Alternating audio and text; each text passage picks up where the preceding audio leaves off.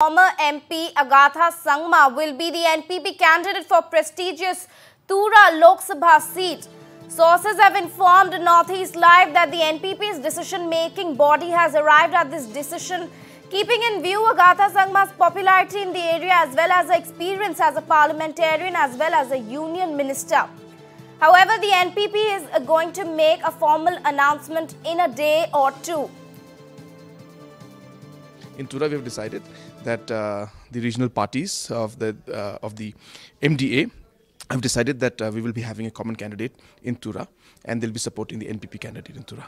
We'll be deciding very soon. Yeah, so maybe a day, or two, we'll announce it.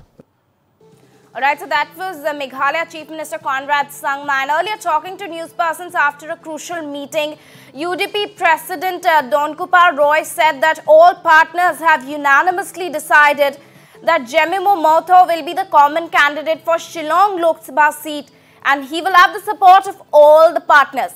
Exuding confidence of a win in both the Lok Sabha seats, Donkupar Roy said that the MDC election have just ended and the people and supporters are in election mode and the only thing to do is bring them together now.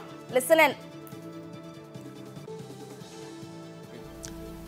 we have unanimously decided that Dr. Jemino Mawthoh will be a common candidate of the MDA with a UDP party symbol.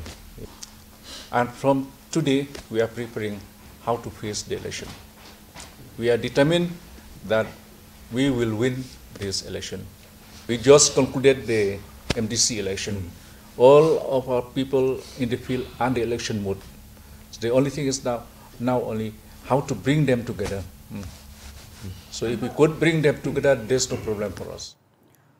So, ending months of speculation, the Meghalaya Democratic Alliance coalition yesterday has finally zeroed down to the name of UDP leader Jemino Mawthoh as its common candidate for Shillong Lok Sabha seat, while former MP Agatha Sangma will be the NPP candidate for Tura Lok Sabha seat. And the decision came after presidents of the coalition partners met yesterday in the evening at the residence of UDP President Donkupar